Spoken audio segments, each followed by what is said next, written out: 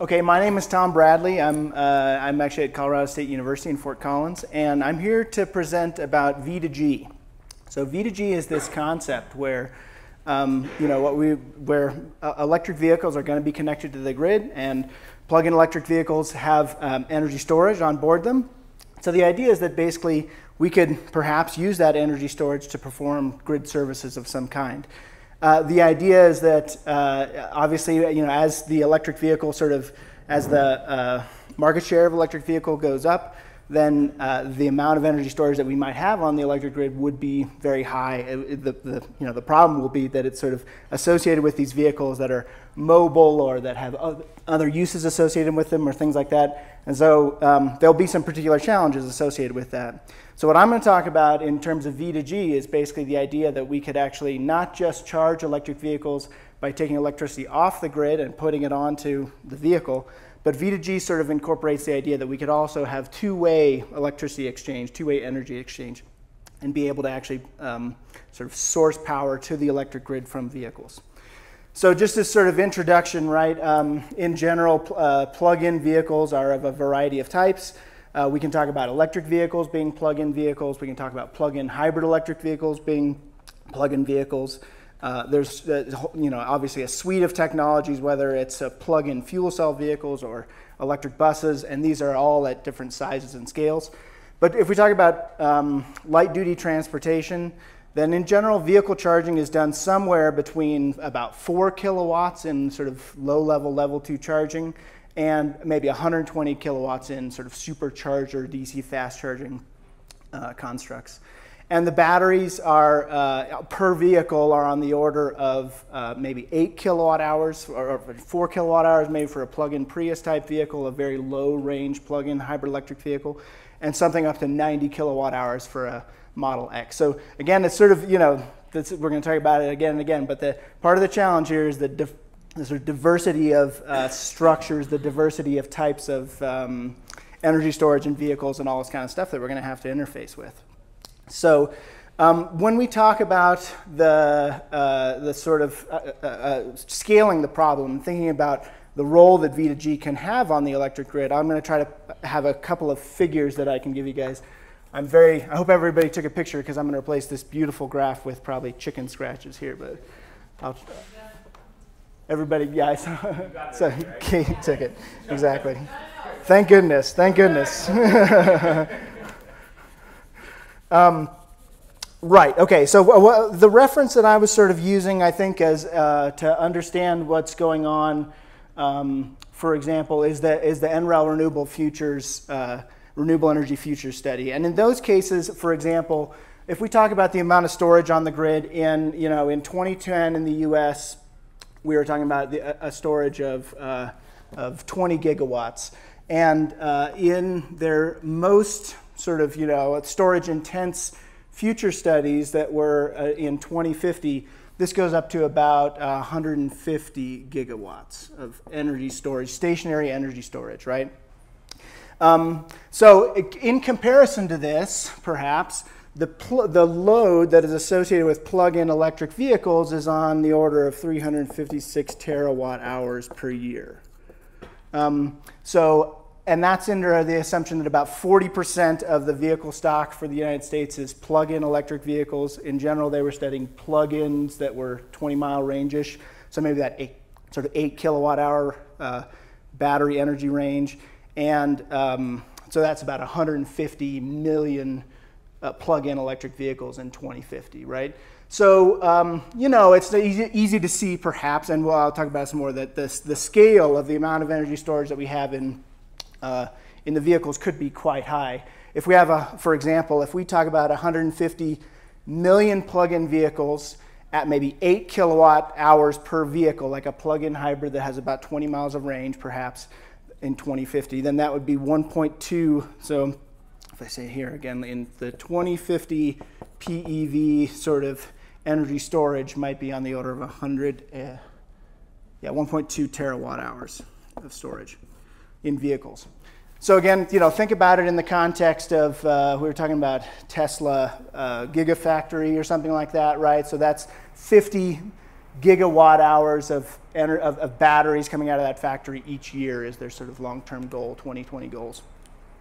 Um, so, okay, so this, you know, so on some level, uh, you know, one might say, oh, that's really, this, this could be really exciting, right? We have a lot of energy storage that's available on, in vehicles. It's, how do, you know, how do we make that connection? How do we take advantage of that? How, what's, the, what's the ways that we can actually uh, realize value out of that? And so now for me, um, you know, what I'm, uh, uh, this sort of the, you know, I think this is the big picture. People have seen this for a while. And um, uh, there's been a, there, there's some er, you know, early proposals from folks about how to realize value out of plug-in electric vehicles uh, and doing V2G sort of things. And in general, those kind of focused, I would say, on, on um, what are the benefits that consumers could realize out of having this plug-in electric vehicle, right? So the sort of the way that people thought about this originally was that, okay, if I'm a consumer and I'm going to go out and buy a, a, a electric vehicle and it's going to be more expensive than a conventional vehicle, how do I realize some extra value out of being able to provide grid services out of that uh, battery pack? And so there, you know, uh, really, you know, esteemed folks, uh, uh Willett Kempton and, and um, you know, there, there were people at EPRI that we worked with and stuff like that that were, try, they were trying to figure out how to make this happen and what kind of value we could actually realize out of that. Um, so the sort of near-term concept for V2G was that uh, we could provide basically sort of uh, ancillary services, especially frequency regulation services to the grid. So I don't know if everybody's sort of familiar with those ideas. I'm sure most people probably are. But the idea is that in that case, uh, you know, in order to balance the frequency, the amount of energy that's on the grid, um, there's a signal that goes back to the um, to ancillary services providers that actually will allow those um, ancillary service providers to provide electricity back to the grid or to be able to sort of put electricity to and from the grid. They'll allow for area control error control, right? And the idea is that uh, V2G could actually provide that because there's some benefits that, that are sort of hypothetically associated with that um, frequency regulation signal. That, that, first of all, it's relatively low energy. And in the utility world, um, relatively low energy doesn't always agree with what the vehicle world low energy is, right? So for example, um, the uh, area control error for California ISO basically is on the order of um, I've got the number seven gigawatt hours over a week, right? So they, they, there's sort of this mismatch. We think of about an area control error signal as being net zero energy over time. It turns out that's not actually true. It, in fact, has lots and lots of energy, uh, gigawatt hours of energy over uh, the course of a week. Uh, PJM and others have, have come up with low energy frequency regulation signals that might be particularly amenable to uh, V2G, but even those are on the order of megawatt hours over a week of discharge and charge. So the, the frequency regulation market is not really set up very well to be able to actually actuate the eight kilowatt hours, order of magnitude, small, you know, three orders of magnitude smaller than um, that are in a battery pack than utility scale sort of uh, signals. The other part of it that's a little bit tricky is that uh, vehicles uh, have a, you know, when you think about frequency regulation, you think about ancillary services, these are supposed to be high reliability services to the utilities. So utilities go into these um, markets and they ask for 99% uh, availability, for example, 99% um, uh, uh, reliability. And vehicles in general are, have sort of these multi-uses, of course. We, if you actually have plugging in your car, you'd like to be able to use it as a transportation service as well. So um, logically, right? So the idea is actually, if, you know, so if you, if you sort of plot out the way that people actually use vehicles in a day, and I'll, you know, if this is sort of like 100% of vehicles are plugged in at home, uh, this actually happens in general sort of at, at nighttime. You know, 99.9% of vehicles are, are available at home if they're, if they're um, you know, light duty vehicles again. And then in the daytime, this goes down to about 65% of vehicles or so are available at home. And uh, the, the, so the challenge is that, uh, especially during these, um, you know, sort of shoulders here, what's happening is that people are coming up to their car in the garage. Maybe that, the, hypothetically, that car is engaged in contracting to be able to provide frequency regulation to the utility. But then people say, well, I got to go to Safeway. Uh, I'm going to pull the plug and drive away, and that's uh, you know, that's a contract violation from the utility's point of view.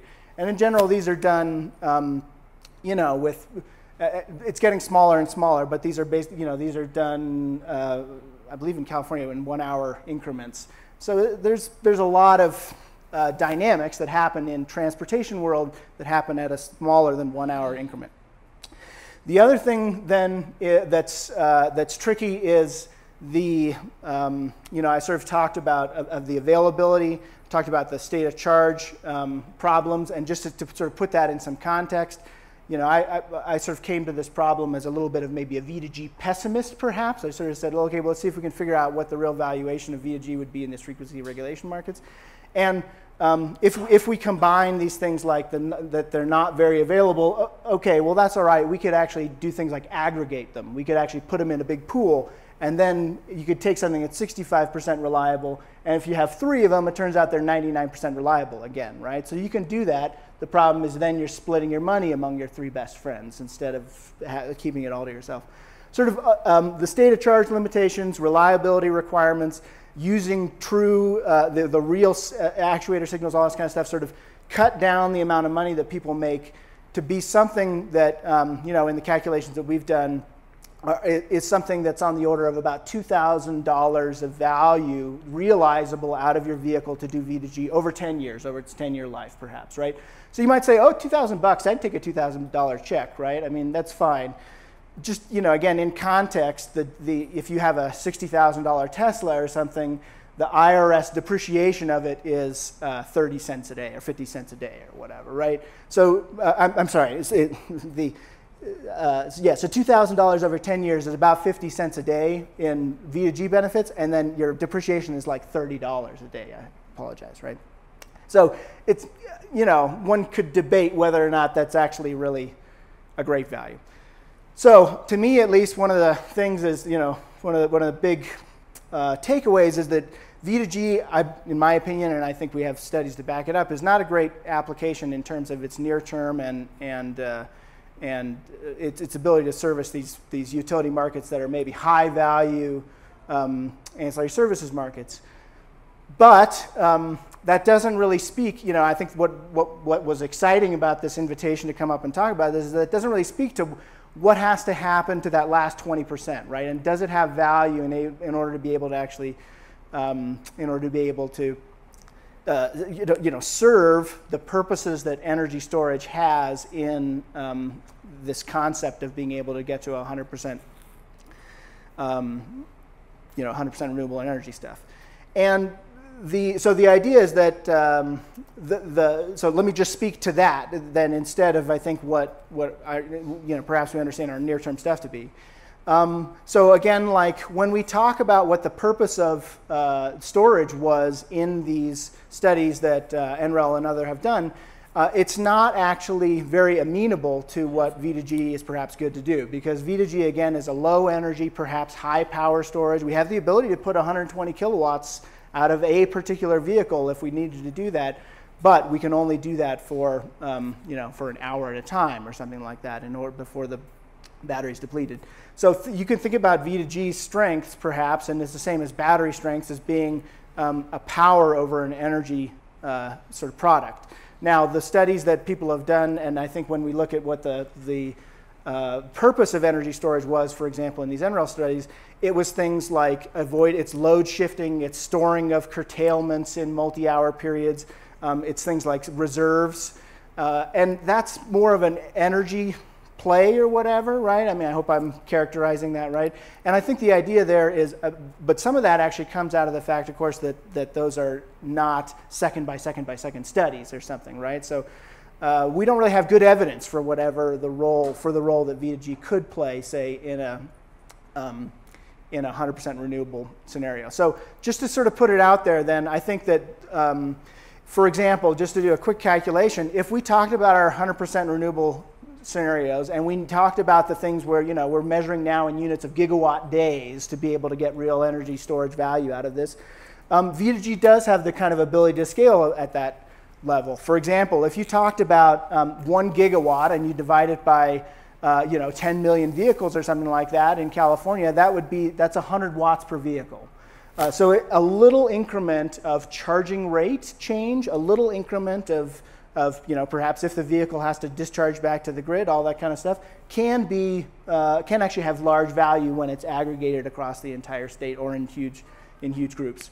So um, so at least the, the, sort of, I'd say conceptually right, that the V2G can provide some, can contribute to this energy storage problem and the energy storage solution that we're talking about in the 100% renewable scenarios.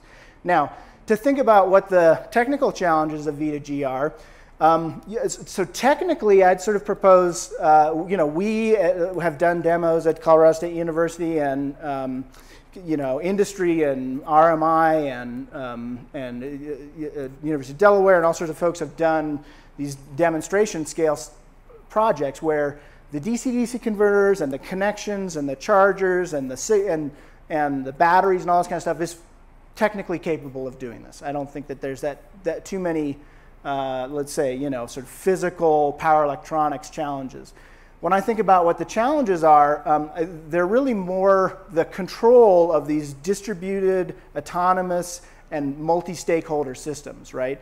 So if you think about, you know, just uh, to me, the essence of V2G is that it's this energy. It, it's the thing we were talking about yesterday. The essence of V2G is that it's a uh, it's a system that we need to be uh, considering as um, yeah that, that that it's sort of has this alternative use, right? It has, it's, it's multi, uh, multi-objective. So when I think about, for example, the pool pump example where, that we were talking about, you know, maybe in that case, the requirements that kind of come from the customer, you know, I'll put sort of customer as a stakeholder, might be relatively simple. We sort of said in 48 hours, we got to get this pool circulated. And so this can participate in energy markets, this can participate in uh, demand response markets or whatever. And um, you know, if this is again a pool pump, this might be relatively easy to be able to think about. When we talk about, uh, you know, for example, the building energy systems, you know, I, I work in a brand new low, you know, LEED platinum building and all this kind of stuff. Has a giant energy management system that does all this kind of thing. And when I arrive at, you know, when I arrive at work, sometimes the lights are on, sometimes the lights are off. Sometimes the heat is on, sometimes the heat is. Sometimes it turns it off on me while I'm typing, sometimes it doesn't or whatever. And this is just part of the modern world, right? Is that we, I, you know, I have to work within this autonomous, multi-stakeholder, multi-optimized uh, problem. And sometimes that inconveniences me 1%, right? And in this case, we're going to say the same thing about V2G, right? Is that it's going to have to, you're going to have this vehicle now, and it's going to have to work within, you know, my, my sort of utility as a stakeholder. Um, is going to participate in energy markets and demand response and frequency regulation and, and uh, you know, real-time markets and ramp rate markets and, uh, you know, disaster when all the clouds come over California markets or whatever else. And I'm also going to have to meet another 10 requirements from the customer, which is it, it has to be my Saturday car, it has to be my sports car, it has to be my grocery getter, it has to also, you know, manage my home energy management system and all these kind of things like that, right? So to me, I think the big questions are how do we actually, how do we, how do we uh, manage that data? How do we control those things? I, how do we capture consumer intent, right? How do we know when people are willing to to arrive at their vehicle and have it be at 60% state of charge. That's okay sometimes, sometimes that's not okay. Am I out? Okay. So just to, you know, I think uh, when I think about other technical problems, I mean, I would say uh, we talked about it the other day. Uh, how do we construct markets or actuation signals or performance me metrics or micropayments or all these kind of things that actually allow people to do this in 100 million vehicles? I, we talked, uh, um, our uh, colleagues talked about things like treating reliability as now a stochastic quantity. So it's not something that uh, we just can, um, you know, that, that reliability is something that just happens when a part breaks in a generator. This is something that we're, we're going to have a, re a, reliability to every single, to every, uh, to every lever that the utility will pull. And it'll actually, you know, that, that reliability will show up in, in different ways than it has in the, structures and, and machines that we use right now. And uh, I, you know, would just propose again that things like the pricing in markets just has to be more responsive to the actual value that the balancing authority or utilities actually gets out of the, um, out of uh, uh, the service. So again, time of use, in my opinion, time of use rates, even day ahead markets are not going to be enough to actually incent and, and realize value out of V2G. V2G. We're going to have to do, uh, you know, we've done studies that show that, that uh, doing things like five minute markets and all this kind of stuff is really the only way to do it. So to me, at least, I, I was excited to be a, to be able to talk about this because I think again it can challenge some of the ways that we've sort of constructed our work over the past years uh, to think about what the real, you know, maybe it's longer term, maybe it's a little bit more barriers are out of the way, maybe it's that, uh, um, yeah, but, but I think that there could be some value for V2G in these long term, renew, large renewable scenarios. So thanks. Thanks, Tom. Yeah.